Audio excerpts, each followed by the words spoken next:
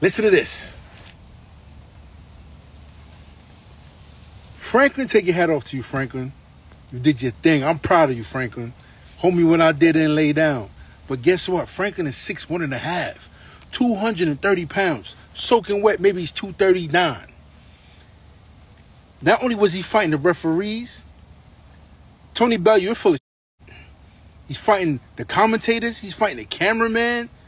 They showing nothing but AJ landing good shots. The only eight shot AJ even had was a decent right hand, holding on with the left hook over the guy's head and throwing him right uppercuts. The referee wasn't even stopping, punching on the brakes. Like damn, homie, homie was fighting the referee, the cameraman, the judges. The, the, yo, like god, like goddamn, goddamn.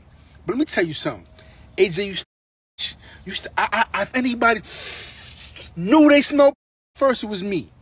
I knew you was pussy from day one. You was a you could fight me any day. I'm fat man right now. So let's let's, let's just make it happen. You could talk all that shit. Dillian Whyte, you, know what I'm talking about. You was the bitch bitch of all bitches. But AJ's even a bigger. A lot of y'all Brits start with a B. Y'all, I'm realizing that. Eddie Hearn stop playing games. Stop sucking. Make this fight happen. I'm tired of all y'all. All y'all. I'm not holding up for no more. I'm just going. I'm just going ham on all y'all. Every last one of y'all. I'm telling you, man. Shout out to Franklin. That's all I gotta get off my chest. AJ's a Tony Bellew's a referees.